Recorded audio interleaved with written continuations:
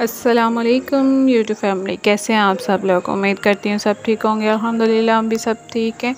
आज का व्लॉग है पूल पार्टी के बारे में और साथ में है कि बनाया था हमने बीफ पुलाव तो ये तकरीबन सुबह साढ़े ग्यारह बजे का टाइम है और यहाँ पे बच्चे जो हैं वो बड़े बेताब थे कि जी कि हमें आप पूल निकाल के दें।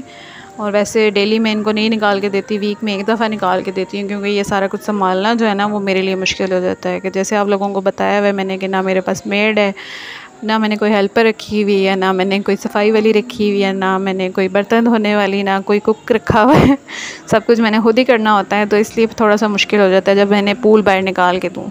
तो खैर, ये मैंने अंदर रखा हुआ होता है दूसरे कमरे में चारपाई के नीचे छुपा के। तो फिर मैं ये ले आई, बच्चे भी अंदर ही थे। तो पहले मैंने बाहर से सारा साफ़ किया, फिर मैंने कहा, चले मैं इसके अंदर पानी डाल के आज बच्चों की पूल पार्टी करवा ही देती हूँ। वीक में एक दफ़ा करवाती हूँ, डेली डेली नहीं करवाती क्योंकि फिर ये ज़्यादा देर अगर पानी में बैठते हैं तो उनके हाथ और पाँव जो हैं वो ख़राब हो जाते हैं। तो यहाँ पर बस पहले मैंने पूल निकाला और फिर मैंने इसको किया वॉश। थोड़ा सा पानी डाल के मैंने वॉश किया, मैंने कहा, मट्टी होगी इसके अंदर, फिर बच्चे तो खेलते हैं। और फिर यहाँ पे वॉश करने के बाद इसके अंदर मैंने पानी डाला और फिर मैंने इनको बुलाया। जी तो यहाँ पे मैंने पानी फिल किया और फिर अंदर गई और बच्चों को बुलाया। अगर आपको पीछे से आवाज़ें आ रही हैं तो उसको इग्नोर करिएगा क्योंकि दादी जो है वो हमेशा मेरे साथ होता है जब मैं वॉइस ओवर करती हूँ। तो अंदर से मैंने सफाइयाँ वगैरह कर ली थी, सारी रूम भी वगैरह सारे साफ़ हो गए थे। और इनको फिर जब मैंने बताया कि चलो आज जी मैं पोल निकाल रही हूँ और इनकी एक्साइटमेंट देखने वाली थी। खैर यहाँ पे इनकी मैंने शर्ट उतार दी और फिर बस ये पूल में तकरीबन हाफ़ आवर जो है वो इंजॉय करते उसके बाद बस इनको नला के फिर मैं अंदर ले आती हूँ I know you told your friend you're not okay And tell me what's wrong and why you never said you felt that way and Guess you're trying to stay strong and fake a smile until I look away But I've known you too long, it hurts to watch your blue eyes fade to gray As you fade away. As you fade away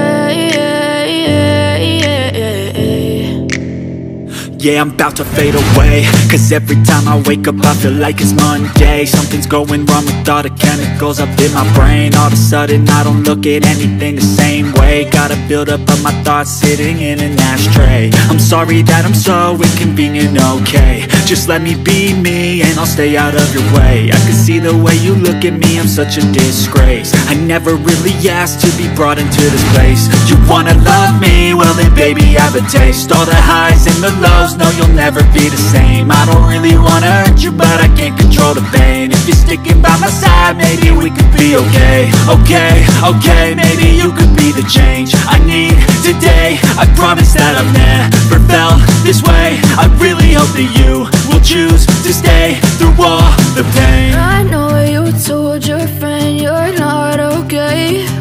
And tell me what's wrong and why you never said you felt that way Guess you're trying to stay strong and fake a smile until I look away. But I've known you too long, it hurts to watch your blue eyes fade to grey As you fade away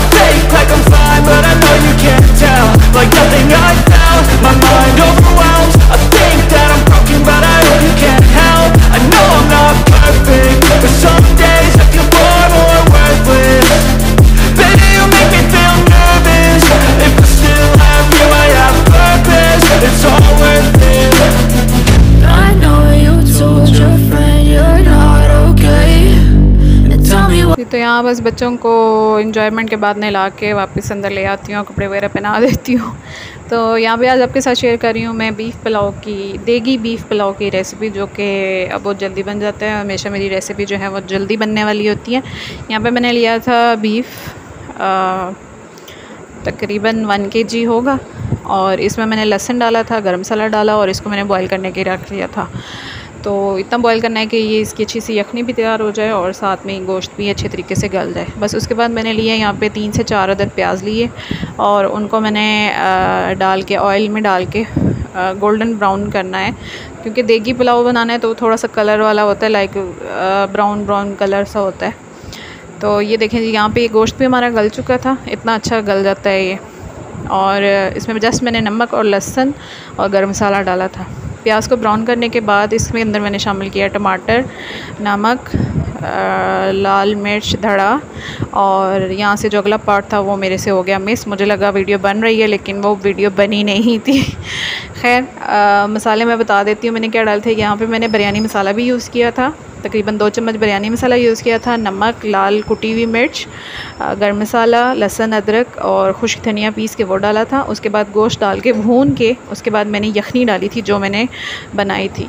और यहाँ पे तीन cup मैंने rice लिए थे और छः cup मैंने यखनी के डाले थे इसके अंदर। जब बॉयल आ गया था तो फिर इसके अंदर चावल भिगो के डाले हुए थे।